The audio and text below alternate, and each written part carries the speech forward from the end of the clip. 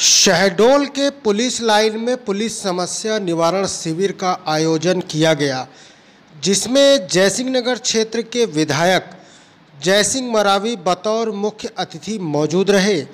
Police अधीक्षक अवधेश गोस्वामी द्वारा आयोजित शिविर में पुलिस से जुड़ी विभिन्न समस्याओं का समाधान किया गया। विधायक जयसिंह मरावी ने कहा कि पुलिस का संपूर्ण जीवन लोगों के हिफाजत के लिए समर्पित रहता है। हमारे जीवन को सुरक्षा एवं सहायता प्रदान करने के लिए अहम भूमिका निभाती है। इस दौरान पुलिस लाइन में बीते कई वर्षों से सड़क का अभाव बना रहा, जिसकी मांग पर विधायक निधि और खनिज मत से बासठ लाख की लागत से बनने वाले सीसी रोड का पूजन भी किया गया। साथ ही पुलिस लाइन में आदित्य हॉस्पिटल के द्वारा स्वास्थ्य शिविर का भी आयोजन किया गया था। जिसमें पुलिस कर्मियों का विधिवत स्वास्थ्य परीक्षण किया गया। इस दौरान शहडोल कमिश्नर राजीव शर्मा कलेक्टर वंदना वैद्य के अलावा ज़िले के समस्त थाना प्रभारी और एसडीओपी मौजूद रहे।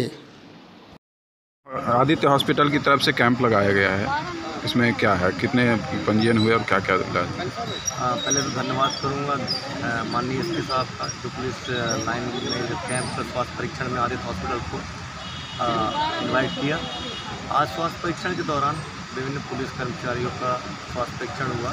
इसमें हमने पीपी शुगर और जनरल स्वास्थ्य परीक्षण किया।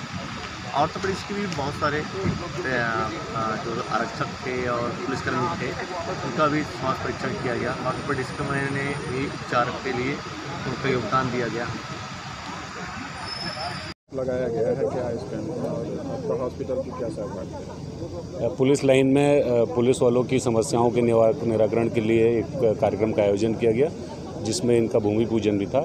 साथ ही एसपी साहब की मनसा थी कि पूरे ज़िले के, चूँकि पुलिस कर्मचारी यहाँ आएँगे तो रूटीन में उनकी शुगर की जाँच ब्लड प्रेशर की जाँच और सामान्य हेल्थ चेकअप हो जाए तो इसमें श्री राम हॉस्पिटल ने अपना पूरा सहयोग दिया और हम लगातार पुलिस की किसी भी इस तरीके के कैंप में अपना पूरा सहयोग देते हैं। जिससे कि पुलिस यदि अपने स्वास्थ्य में विशेष ख्याल रखेगी तो निश्चित है कि ज़िले की जनता को भी विशेष ख्याल रख पाएगी।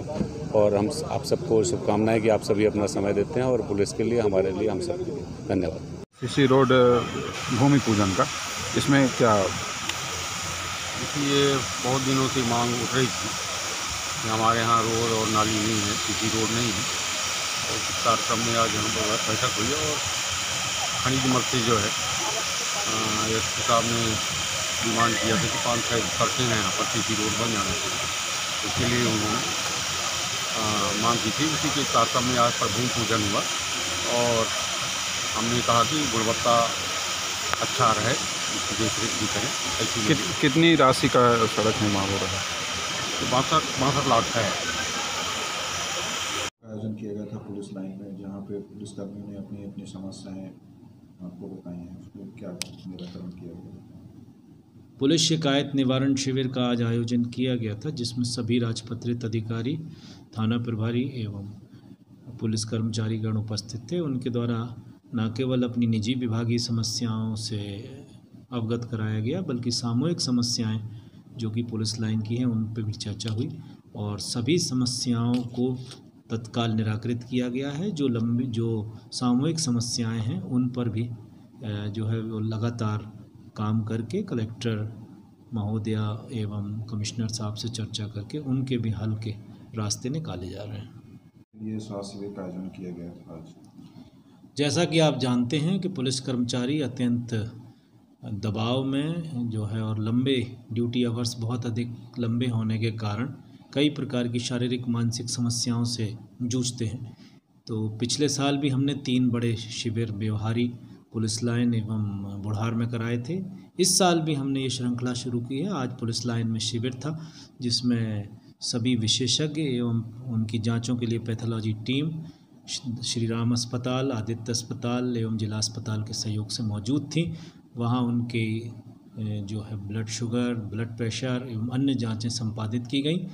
जिन कर्मचारियों में कोई गंभीर बीमारी के लक्षण मिले हैं उन्हें सुपर स्पेशलिटी अस्पताल में इलाज के लिए भेजा जा रहा है और ये कार्य निरंतर जारी है। हमारे अगले शिविर अमलाई एवं जयसिंह नगर में प्रस्तावित है। के लिए भूमि पूजन कराया गया है। माननीय क्षेत्रीय विधायक के क्या?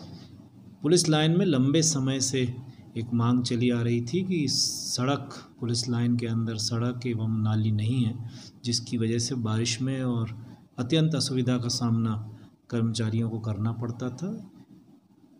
पुलिस कर्मचारियों की इस समस्या को माननीय विधायक जयसिंह नगर एवं कलेक्टर महोदया श्रीमती वंदना वैद के द्वारा समझकर और संवेदनापूर्ण संवेदन, संवेदनापूर्ण तरीके से इसको डीएमएफ फंड के द्वारा कराने का प्रस्ताव पारित कराया गया और बासठ लाख रुपए स्वीकृत होके जिसमें प्राथमिक स्वीकृतियाँ जारी हो गई हैं। और तीन माह के अंदर पीडब्ल्यूडी को इसमें कार्य करने की एजेंसी बनाया गया है। तो आज से जो है वो इस समस्या के निराकरण की तरफ़ प्रशासन के द्वारा एक कदम आगे बढ़ाया गया है। ये समस्या जल्दी कर्मचारियों की पूरी होगी, इससे उनमें काफ़ी हर्ष उल्लास है।